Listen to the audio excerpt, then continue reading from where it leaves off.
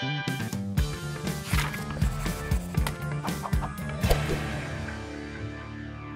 right, so welcome back to Tales from Flipside. This is Comic Shop Talk, where we're talking about setting up your comic shop. Uh, business beginning to end. I think we're on episode 30 or something like that now. Uh, you can go back and catch all the other episodes, but this episode, last episode, we talked about getting your piece of property, uh, getting your building, uh, your storefront. And what we're going to talk about today is once you have your uh, your building, uh, setting it up. How do I set my building up? Where do I put my uh, comics? Where do I put my other stuff? My apparel? How do I set it up? Well, there's a lot of different things to do with that.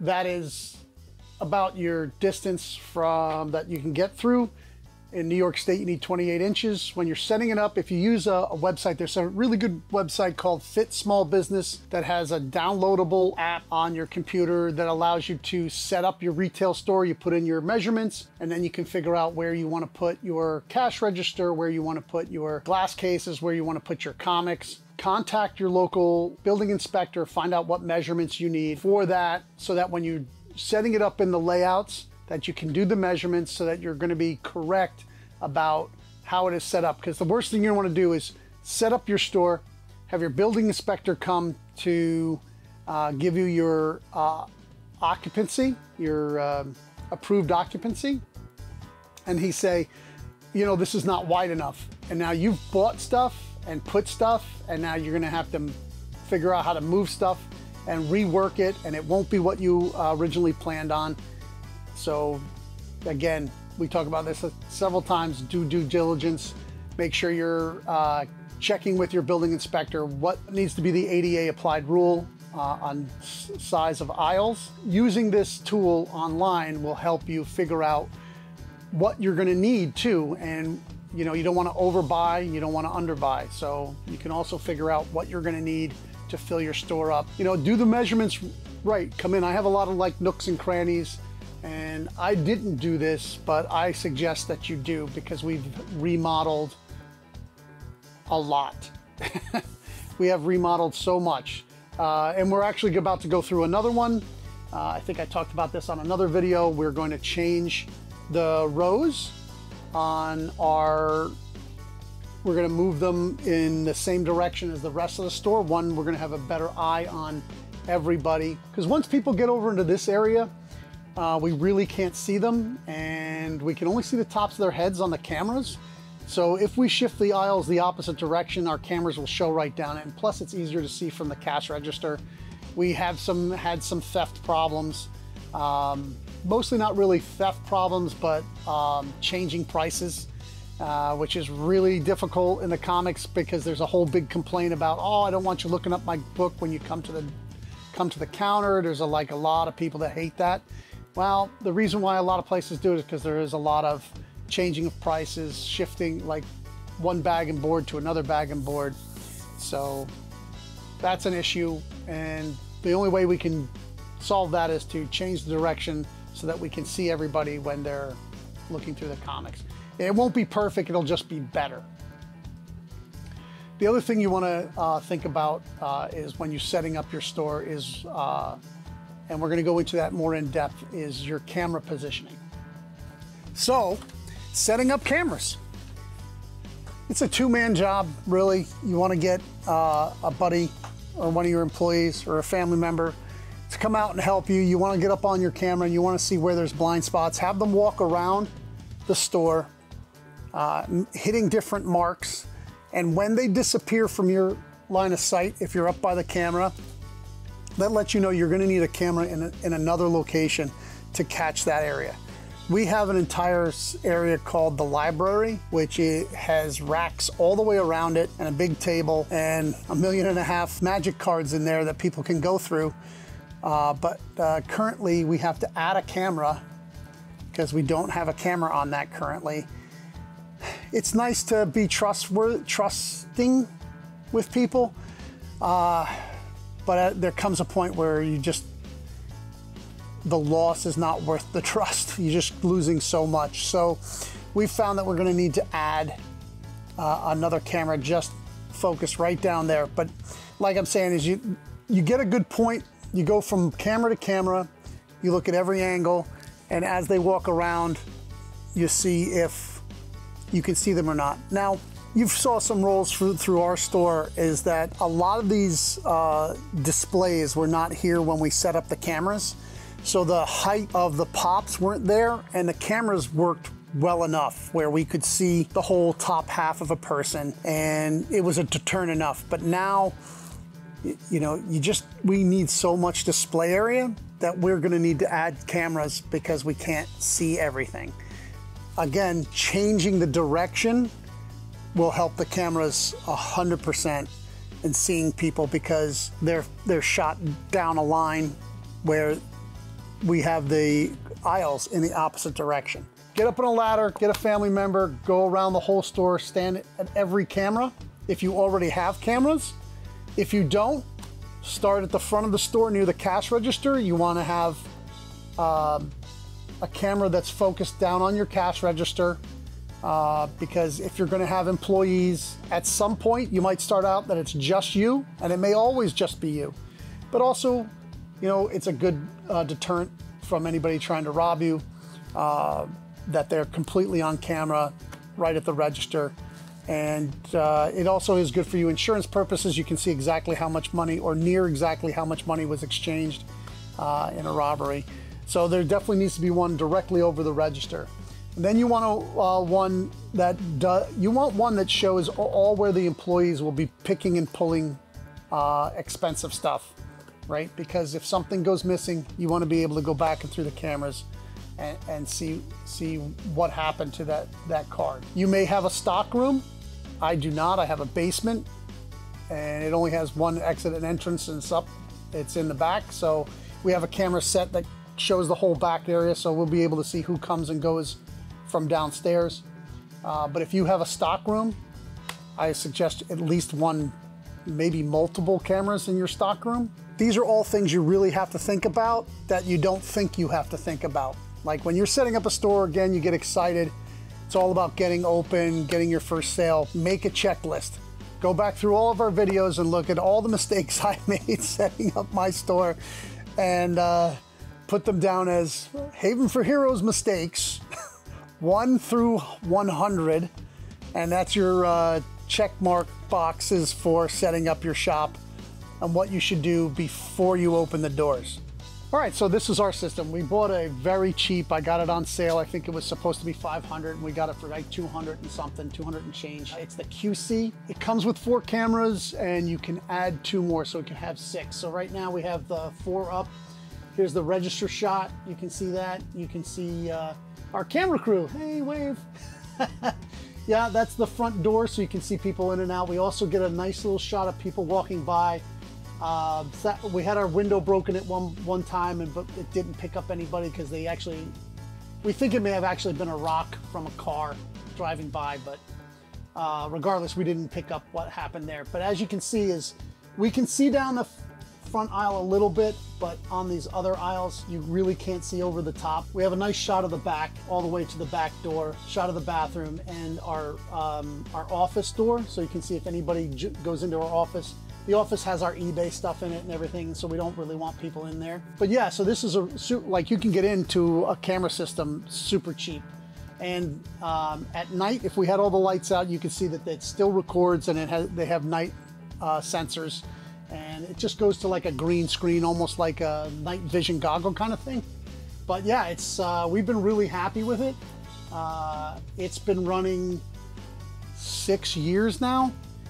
Uh, for 200 bucks, I have my money's worth. If it crapped out tomorrow, I would go buy another $200 one because, you know, if you went with a security company, it would probably cost you a, several grand just to get them to put the cameras in and then you're monitoring every month. I mean, it depends. It, if you have millions of dollars in a something that can be carried out, if you're a sports card store that has like Mickey Mantle rookies and or if you have uh, the Power 9 and Magic, maybe you do want a monitoring place that has, you know, thousands of dollars in uh, camera equipment in the, in the place and you're paying a monthly fee Uh, we don't. I, you have to, uh, in our state, in New York, you have to have a fire alarm. So we do have a fire alarm and we do have a monitoring we have to pay for every month. So they, uh, that I think is worth paying for. Smoke alarm's not going to be that good enough. You know, you get a phone call if you get an alarm. They dispatch the fire department immediately. Your, all your collectibles went up in smoke. I don't know. We'll have an, we're going to have a episode on insurances. If you've tried to get insurance for collectibles, you'll, it is very difficult for to get from a regular insurance company to actually cover the complete value of your collectibles. The insurance I have is capped at a certain number and it is so low, it would make you cringe. you need to have some type of security.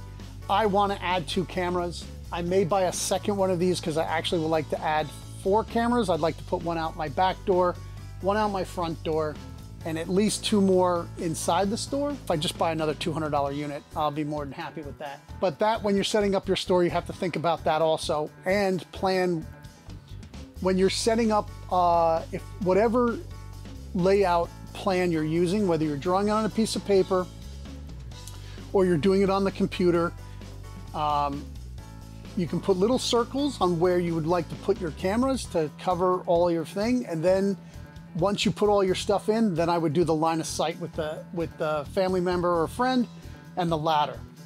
And then install them. If you have a drop ceiling, super easy to install uh, these cameras uh, that we have. But all of them are, th these aren't wireless, so it is all big savings, but it's gonna cost you, you know, a bit in wire. Uh, luckily, I had bought a ton of wire at an auction for next to nothing. So we wired the entire place for very cheap.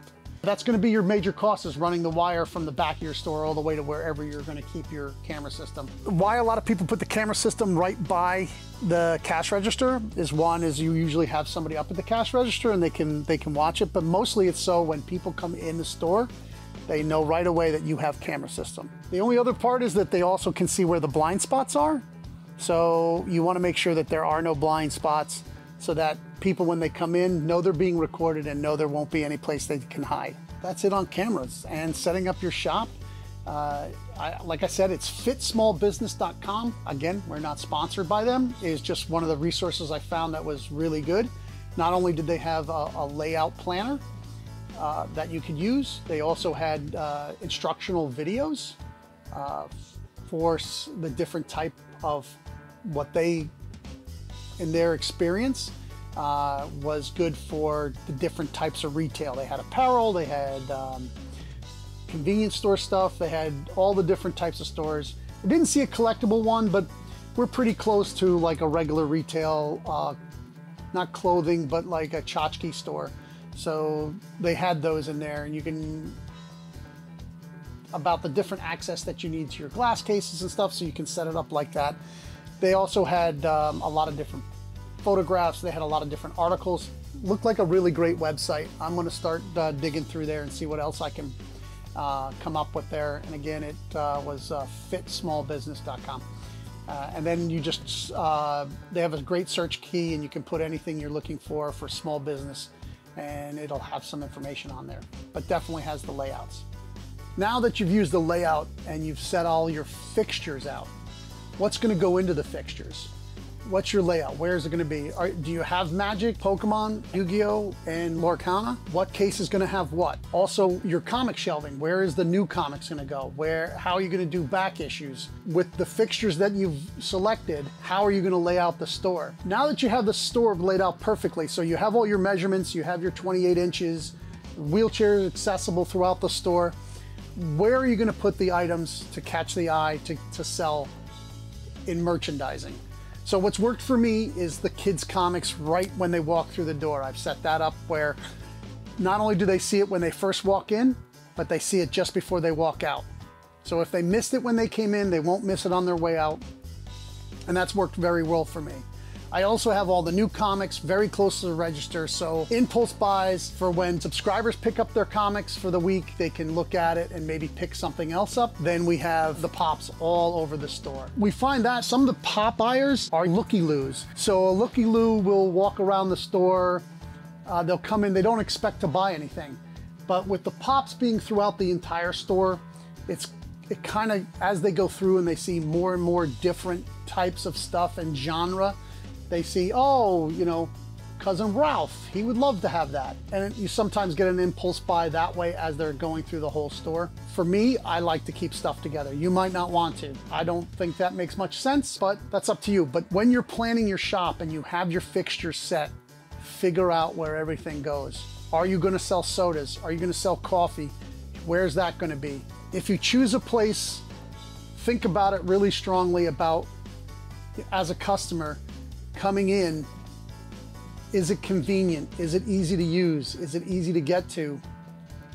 Does it attract you? Like we have the big comic wall that when people are walking from outside, they can see all that color. They may not see what comic it is, but it's a big eye catcher. It brings people in, gives legitimacy to a collectible shop to have your big items where everybody can see them don't be afraid to have your branding everywhere. Like we have it out on the sign outside. We also have our old sign up in the store. We have it spray painted on the other side. You've seen that in every video. I love to show that off. Uh, I'm pretty proud of that. I was here till like two or three in the morning one night by myself, uh, spray painting the floors and the walls. And uh, you know, we do t-shirts and look, t-shirts, I don't know. I mean, I like them. I think they're, they're well done, but we sell them all the time. This shirt, the, the one I'm wearing in this video is not one of my favorites. Uh, it didn't sell very well, but we did sell out of it and we're on to a new shirt, which I love the design for. It's got a front and a back to it.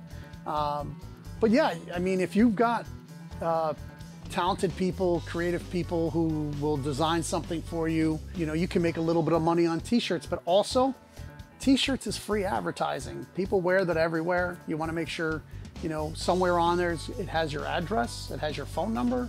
It, it's just like an, it's just like a big ad. Mine doesn't have my phone number on it, but it definitely does have the uh, location. But you want to think about these things, uh, about setting up the store and about making sure people know who you are before they leave.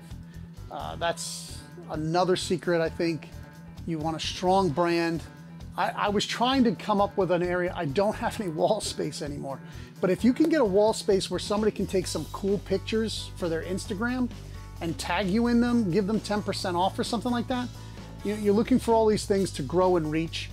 And sometimes just the setup of your store can help you do that. If you have somewhere really cool where they can take some pictures with something cool and interesting. If you're gonna have a play space, definitely wanna design that in the layout and all the room that you're gonna need and how the seating is gonna be laid out. It's uh, important to keep that in mind because that also has to be ADA compliant. If you're gonna set up tables, it's also tables measure differently. So if you put one thing on your uh, on the program setting up the tables and you you get it all set up and you're like, oh, this is great, it fits perfectly. Then you go to try to source the table and the tables are wider. You have to keep all that into consideration to make sure that it was gonna work for you. You know, you can always find me on Facebook and send me a message or a question if you don't feel like uh, comfortable leaving a comment here. You can also find me over on our Haven for Heroes channel and send me a message there. Uh, remember, keep reading comics and open a comic store.